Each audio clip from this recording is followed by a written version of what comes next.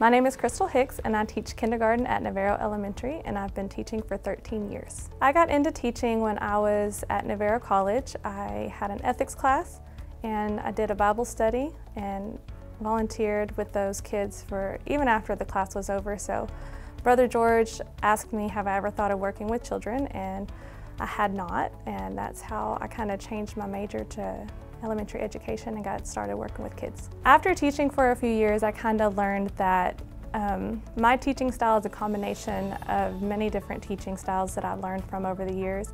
I worked with a lot of great people at Carroll Elementary that taught me how to work with children better and how to organize and just uh, reach families and be there for them and their kids. I think my teaching philosophy is as long as a child feels loved that they're going to learn for you.